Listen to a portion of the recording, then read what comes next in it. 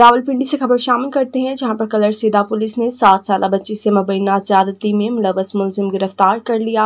Police के मुताबिक colour सीधा पुलिस को मुतासरा बच्ची के वालिद ने दरख्वास्त दी कि अली नामी नौजवान ने मेरी बेटी को ज्यादती का निशाना बनाया। कलर सीधा पुलिस ने फौरी तौर पर मुकदमा दर्ज करके अली नामी मुलजिम को गिरफ़्तार कर लिया। एस एच ओ का कहना था कि मुतासरा बच्ची का मेडिकल प्रोसेस करवाया जा रहा है।